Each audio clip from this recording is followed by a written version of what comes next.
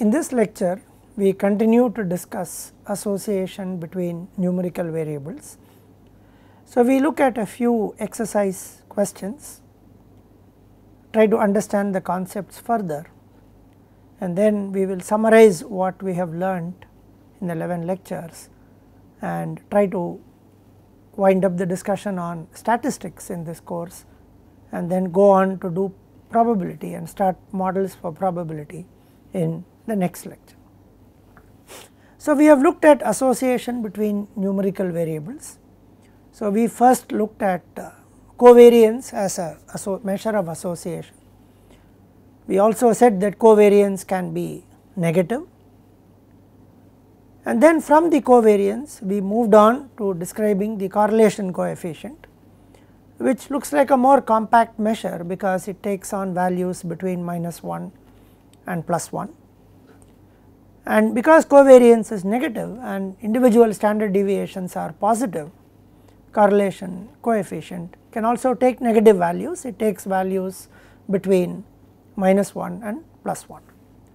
So, with this let us move on to some questions, some true or false questions. The x axis of the scatter plot has the explanatory variable, the answer is also given. So, the answer is true. So, the x axis is the independent variable or the variable that tries to explain something happening and the y axis now has the variable on which the effect of the explanatory variable is felt. Therefore, x axis has the explanatory variable is true. Question number 2 the presence of a pattern indicates that the response variable increases as the explanatory variable increases. So, the answer is not necessarily true because we may have a pattern where as the x variable increases the y variable can decrease. So, that happens when there is a negative correlation. So, it is not entirely true though one might be tempted to think it is true because our, our mind normally makes us believe that there is a positive correlation. So, if there is a positive correlation then as x increases y also would increase. If there is a negative correlation as x increases y would decrease and therefore, this statement that the presence of a pattern indicates that the, that the response variable would increase as the explanatory variable increases is not entirely true. Third question, let us have a situation where the net profit is about 10 percent of the sales. So, the scatter plot should be thought of as a line. So, the question is now does this look like a line or would it be non-linear and so on. Now, the net profit is about 10 percent of the sales gives us an indication that we have a line of the form y is equal to a plus 0.1 x and so on. Roughly the slope can be thought of as 0.1 and therefore, one can believe that when we start plotting this data, such a data would approximate to a line and therefore, the answer could be true for this statement.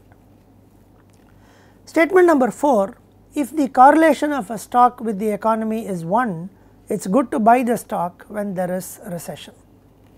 Now, the answer is given here as false because as the stock is entirely dependent on economy and entirely correlated with it with the correlation of 1. So, when the economy is down the stock will also be down and therefore, it depends on what we want to do with the stock. If we want to trade it very regularly buy and sell the next day and so on then it is not a very good thing, but therefore, the answer is false. But if, if we have a person who simply buys the stock keeps it for a very long time waits for the economy to, to recover so that the stock prices also go up and then the person wants to sell it then the answer could be true, but in general the answer is false because if the economy is down the stock price will also be down. Question number 5 the covariance between employees and the production quantity is computed with daily data it is expected to increase if the data was aggregated to monthly. Uh, yes the as, as we aggregate data we realize that the covariance increases. Uh, so, these questions have helped us understand what is correlation, what is covariance and how we model a linear relationship It also helps us understand what is an explanatory variable and what is the dependent variable and so on. So, let us move to the next a simple question find the explanatory variable and the response variable. So, the explanatory variable is the x variable response variable is the y variable. So, we have to look at these situations and try to find out which one has an effect on the other or which one can be explained by some other variable. So, marks obtained in an exam with hours of study. So, as the student puts in more effort in terms of more hours of study, the mark is expected to increase. So, hours of study is the x variable or the explanatory variable, while the marks obtained is the y variable or the response variable. Number of workers and quantity produced or units produced.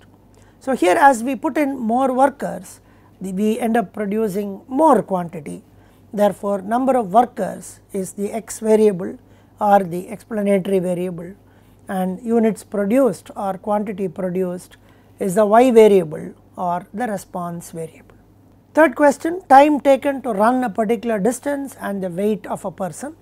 So, there is a general assumption that the as the person is heavy and has more weight the person would take more time to run and therefore, in this case weight of the person can be the x variable or the explanatory variable and the time taken to run is the response variable or the y variable. Total revenue and items sold.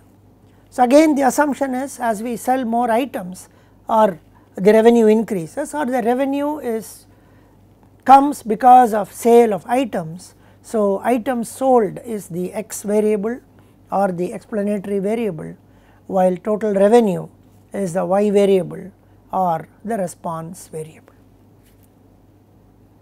The exercise done, the amount of time spent on doing exercises and the body weight. So, again there is a general assumption here in this statement that as we spend more time on exercising the body weight reduces and the body weight has an effect on the amount of time spent on exercise Therefore, the time spent on exercise would be the x variable or the explanatory variable and the weight of the person would be the y variable or the response variable. Move to the next question. Correlation between number of customers and sales in rupees is 0.8. Does the correlation change if the sale is measured in thousands of rupees? The answer is the correlation does not change when it is measured in thousands of rupees or when it is measured in equivalent denominations could be even for example you could have a set where the sale is given in rupees and then we multiply by a constant to make it into dollars or some other form of currency and as long as we multiply by the same constant the correlation does not change. So, if the sale is measured in thousands of rupees is equivalent of dividing it by 1000 so it does not change. Question number 3 would correlation change if we add a constant to a variable or if we multiply it by a constant we will answer the first part first and then the second. Again the correlation would not change if we add a constant to a variable. Let us assume we are adding a constant to the y variable so, as we add the same constant to each of the y values, the assuming that the constant is positive, so y bar would increase by the same constant and therefore, y minus y bar would remain the same in all these cases. So, when y minus y bar remains the same in all these cases, the variance of y remains the same and the standard deviation of y remains the same. Covariance would also remain the same because y minus y bar does not change and the covariance remains the same, the standard deviation remains the same and therefore, the correlation coefficient would also remain the same. What happens if we multiply by a constant? This was the question given in the earlier question too when we said uh, if it is measured in thousands of rupees. So, when we multiply one by a constant, let us say we multiply the x variable by a constant so, the x bar gets multiplied by the same constant since x bar gets multiplied by the same constant, individual x minus x bars get multiplied by the same constant and therefore the standard deviation gets multiplied by the same constant and then the covariance since x minus x bar gets multiplied by the same constant the covariance also gets multiplied by the same constant. Now with respect to the standard deviation since x minus x bar gets multiplied by the same constant when we compute the variance we square it therefore it becomes square of the constant and then to get the standard deviation we take the square root and therefore the standard deviation gets multiplied by the same constant covariance gets multiplied by the constant and therefore the correlation coefficient would remain the same because both the numerator and the denominator are multiplied by the same constant. In the case of addition the numerator and denominator remain the same therefore the ratio is the same. In case of multiplication both the numerator and the denominator get multiplied by the same constant and therefore the ratio remains the same. So question number 4 Cramer's V measures association among or between categorical variables. Correlation is used as a measure for numerical variables. Now correlation can be between minus 1 and plus 1. Now can Cramer's V be negative? Why or why not? So whatever we saw in the earlier lectures, Cramer's V is the value of chi square divided by minimum of the number of rows minus 1 number of columns minus 1. So in the Cramer's V the denominator is a positive quantity while the numerator which is the value of chi square is also a positive quantity because or 0 because it squares numbers. Therefore, the way we computed Cramer's V, Cramer's V cannot take a negative value. Whereas correlation coefficient also has a numerator and a denominator. The denominator part which is the standard deviations is either 0 or positive whereas the numerator part which is the covariance can be negative and then we said correlation is between minus 1 and plus 1. Plus 1 indicates some kind of a positive association and minus 1 kind of indicates association in the opposite direction. Now since we look at categorical variables in Cramer's V, we only check whether there is an association and we do not further qualify the association to be positive positively associated or not positively associated. Also because in categorical variables there is no question of difference between the values, there is only a category and therefore we do not further qualify the association as positive or not positive. Therefore it is only fair that Cramer's V shows whether there is an association or not, but does not try to say whether there is a positive association. So Cramer's V will take a positive value whereas correlation can also show some kind of a negative association where as x increases y can decrease. 10 students took a test and after studying for a week took another test with the same portions let us say the marks are given. So would you expect the scores to be associated? Most probably yes because we assume that when they took the first test they were still good enough and then the extra study would help them to get a slightly higher mark than what they would have got in the first test. So we would expect an association. Now what is the relationship between the marks? We can calculate the correlation coefficient in this case. Uh, we can also expect the marks to increase and if we actually compute the correlation coefficient which you can do as an exercise it would be very close to 1 I think in this case we get some 0.98 or something as the correlation coefficient. The student with the highest score in the first test has not got the highest in the second is it an indication that he has not performed very well in some ways the answer lies in the correlation. If we look at the second column, the highest mark is 78 which is got by a person who got 72 in the first test, whereas the person who got 77 in the first also got 77. If the correlation had been a plus 1, then it is quite likely that there, there will be an increase in each one of them. Since it is not plus 1, very close to 1, so these things can happen, but certainly that is not an indication that the person who got the highest in the first has not performed well in the second. So with this we come to the end of our discussion on association among numerical variables. We will just spend a minute to summarize what we have seen in these 11 lectures. And with this 11th lecture, we complete the course content on statistics or introduction to statistics and then from the next lecture we move on to probability.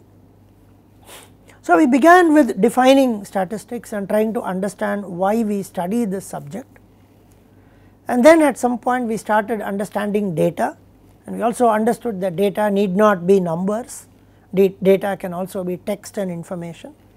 And then we learned to categorize data into 4 types of data and 2 broad types of data.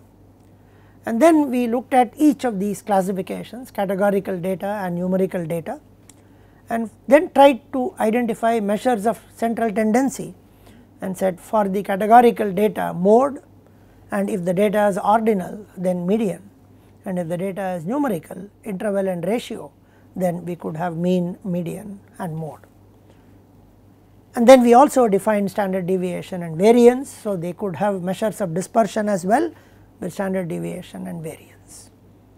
We also looked at uh, for the categorical data we then looked at association and before that we also looked at the interquartile range if the data can be sorted and uh, ordered and then we did the interquartile range.